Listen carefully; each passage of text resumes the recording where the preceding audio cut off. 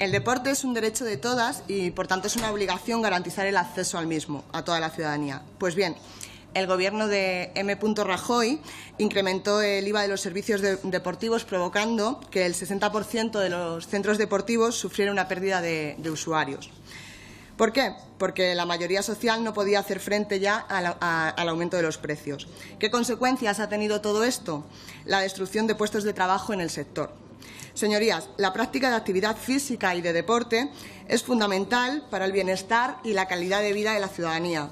Pero es que además, ustedes, señorías del Partido Popular, que se creen los gestores económicos máster del universo, deberían saber que la práctica de la actividad física y de deporte repercute de manera directa y favorable en las arcas públicas, porque así está evidenciado, ya que mejora la productividad laboral y ahorra costes en la sanidad de verdad que resulta cuanto menos paradójico, por no decir que son ustedes, señorías del Partido Popular, campeones en cinismo.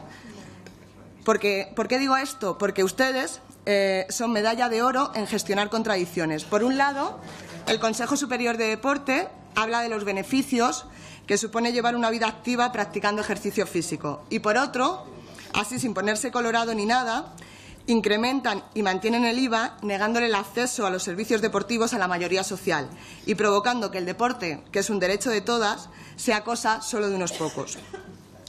Manteniendo el IVA al 21%, el Gobierno de M. Rajoy está provocando que las clases populares no puedan acceder a unos servicios deportivos de calidad, obligándoles a la práctica deportiva sin control y sin asesoramiento.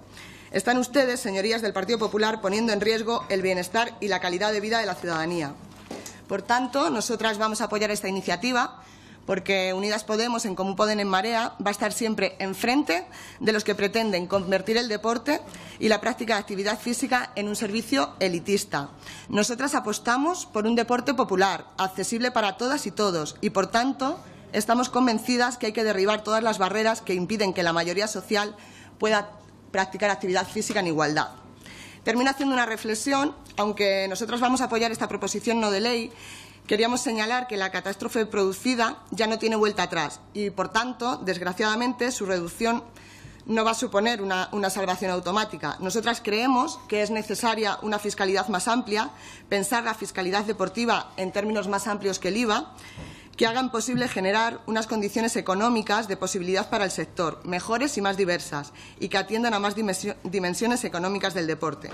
El deporte español, como sector económico, necesita mejores condiciones tanto en materia de fiscalidad como de promoción. Y todo eso, señorías, nosotros consideramos humildemente que no se soluciona solo reduciendo el IVA.